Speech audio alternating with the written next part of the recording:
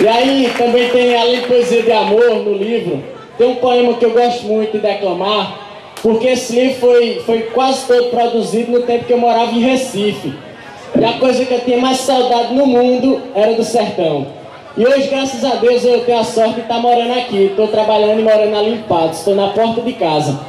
Mas quando eu, eu, eu ia e vinha de Recife para São José do Egito, aí um dia eu cheguei lá na, na minha rua e a rua onde eu cresci estava toda asfaltada, coberta de um asfalto. Antes era paralelepípedo. E não sei por que aquilo me deu inspiração. E eu fiz um poema intitulado de Infância, onde eu disse: Quem é que não tem saudade do tempo que era criança? De vez em quando a lembrança desse tempo ainda me invade. E como dói, meu amigo, dói que às vezes só consigo dizer que dói, que dói tanto, chega perto do coração. E por mais que eu tente, eu não consigo barrar meu pranto.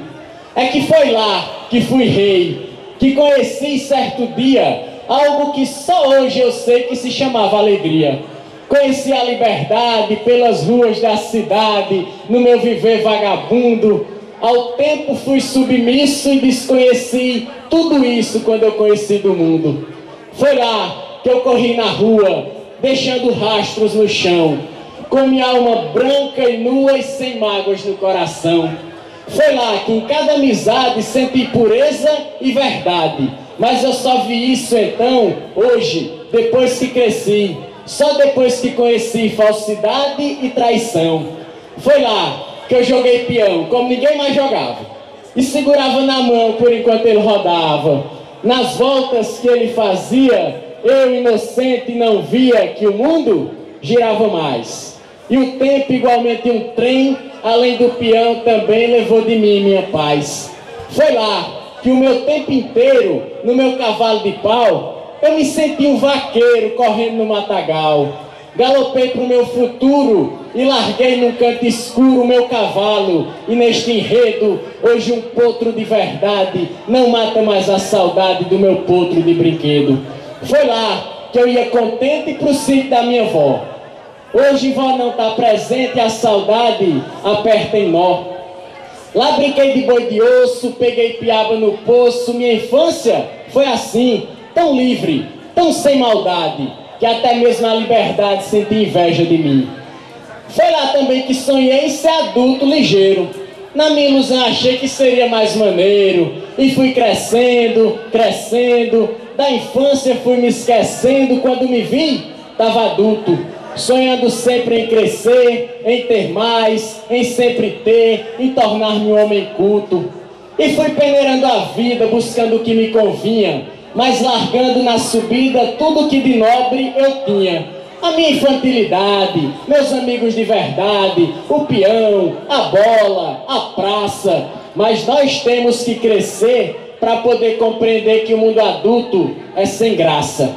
Então resolvi um dia, ao passado, regressar, para rever a alegria que eu vivi sem nem notar. Como foi triste o que vi, triste que eu nem consegui deixar meu choro guardado, pois crescendo eu não notava que o que vivi se encravava nas entranhas do passado.